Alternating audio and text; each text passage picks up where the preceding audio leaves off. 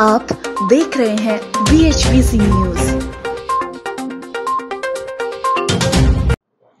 नमस्कार, स्वागत है आपका। मेरा नाम है विपिन विभाग मानहानि केस में कांग्रेस नेता राहुल गांधी की ओर से दायर आपराधिक पुनरीक्षण याचिका पर गुजरात हाईकोर्ट में सुनवाई चल रही है। सूरत ज़िले की एक कोर्ट ने मोदी सरनेम मामले में दायर किए गए आपराधिक मानहानि के एक मामले में दोषी पाते हुए राहुल गांधी को दो साल की सजा सुनाई थी। Justice Hemant M. वांचक की पीठ के समक्ष शिकायतकर्ता पूर्णेश मोदी की ओर से वरिष्ठ अधिवक्ता निरुपम नानावटी पेश हुए। उन्होंने कहा कि अपराधों की गंभीरता, सजा इस स्तर पर नहीं देखी जानी चाहिए। उनकी अयोग्यता कानून के तहत हुई है। इस बीच जज ने एक आदेश पारित किया जिसमें ट्रायल कोर्ट को उनके सामने मूल रिकॉर्ड और मामले की कार्रवाई पेश करने का निर्देश दिया गया। नानावटी ने कहा कि राहुल गांधी को कोर्ट ने अयोग्य नहीं ठहराया है।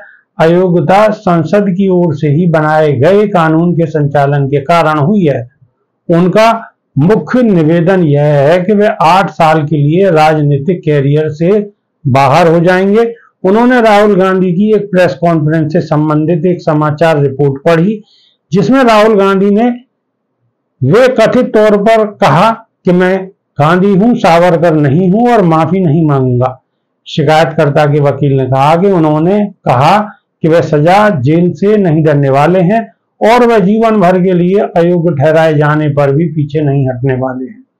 यह उनका सार्वजनिक स्टैंड है, लेकिन यहाँ कोर्ट के सामने उनका स्टैंड अलग है। अगर आपका यही स्टैंड है तो यहाँ कोर्ट में याचिका के साथ ना आए उन्हें रोते हुए बच्चे के जैसा नहीं होना चाहिए। या तो सार्वजनिक रूप से किए गए अपने स्टैंड पर टिके रहना चाहिए। आपकी मंशा कुछ और थी। नानावटी ने कहा कि उनके खिलाफ कुल बारह मामले मानहानि के हैं। पुणे कोर्ट में सावरकर को लेकर की गई टिप्पणी के संबंध में उनके खिलाफ अन्य शिकायतें हैं। वह एक राष्ट्रीय राजनीतिक पार्टी के नेता हैं, जिसने देश पर 40 साल शासन किया है। लेकिन अगर वह इस तरह के बयान दे रहे हैं तो उन्हें सबक सिखाया जाना चाहिए। उन्होंने सॉरी भी नहीं कहा है, उनकी ओर से कोई स्पष्टीकरण नहीं दिया गया है। उन्होंने कहा है कि माफ़ी नहीं मांगनी है तो ना मांगे, ये आपका हक है, लेकिन फिर ये हल्ला क्यों है? पुणेश मोदी, इस मामले में पीड़ित व्यक्ति हूँ, अपराध गंभीर है। संसद भी यही कहती है दो सिद्धि पर स्थगन के उनके आवेदन की अनुमति नहीं दी जानी चाहिए। आवेदन को खारिज किया जाना चाहिए।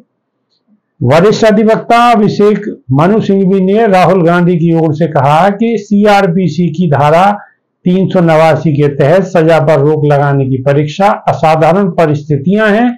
धारा तीन सौ नवासी सीआरपीसी किसी व्यक्ति के दोषी होने या ना होने से संबंधित नहीं है, लेकिन यह सुविधा के संतुलन के बारे में है। अभी के लिए सिर्फ़ इतना ही। नमस्कार।